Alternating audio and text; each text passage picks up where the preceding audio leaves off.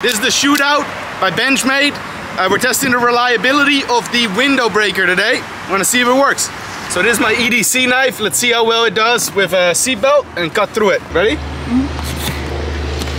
Smooth as butter. This is the Benchmade shootout. It also comes with a window breaker and we're gonna test that right now.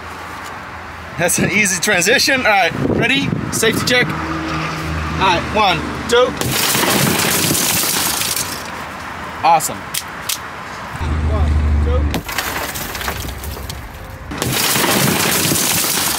We just tested it. It was extremely smooth. One swift movement and it broke the window. No second tries, no redos, one and done. Today we're gonna be testing out the SOCP by Benchmade. This is a rescue tool with a seatbelt cutter and a window breaker. All right, first we're gonna try out the seatbelt cutter. Ready? Now that's pretty smooth. Everyone ready? Safety check. One. Voila. Works pretty smooth.